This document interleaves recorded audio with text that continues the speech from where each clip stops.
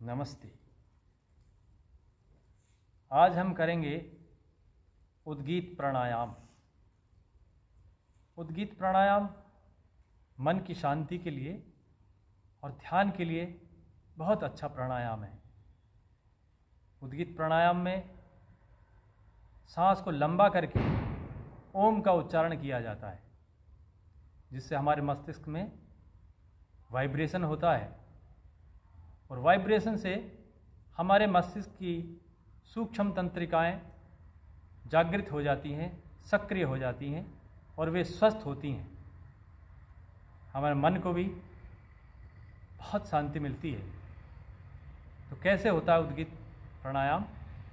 सबसे पहले हमें चाहिए कि हम कहीं स्वच्छ स्थान पर बैठ जाएँ, पार्क में घास के मैदान में और प्रातः या साय का समय हो। सबसे अच्छा समय होता है उद्गीत प्राणायाम का। यदि हम ब्रह्म मुहूर्त में करते हैं तो सबसे श्रेष्ठतम समय होता है। ब्रह्म मुहूर्त दिन निकलने के लगभग एक घंटा पहले शुरू हो जाता है। अगर ऐसा हम ना कर पाएँ तो हम दिन निकलने के समय यानी प्रातःकाल और सायकाल, दोनों करके दोनों समय में इसको कर सकते हैं और तनाव से मुक्त हो सकते हैं। तो कैसे होता है? आप किसी अच्छे आसन में बैठ जाइए। हम सुखासन में बैठ सकते हैं। और पद्मासन में बैठ सकते हैं। और हमें उचित लगे तो वज्रासन में आ जाएँ। ये आसन भी अच्छा आसन है। पहले लंबा सांस भरें। मुद्रा लगा लें।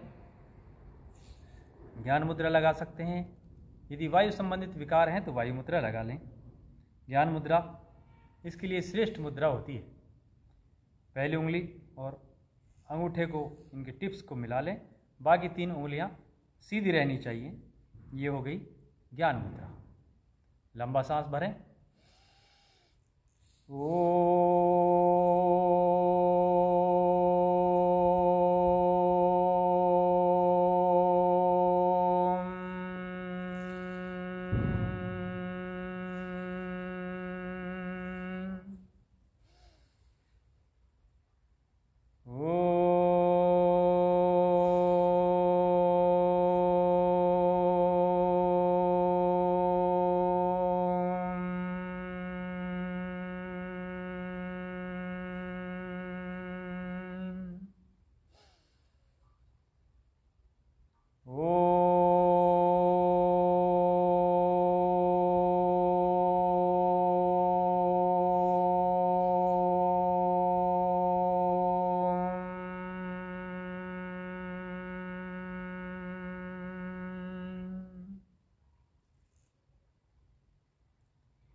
ये हुआ उद्गीत प्राणायाम।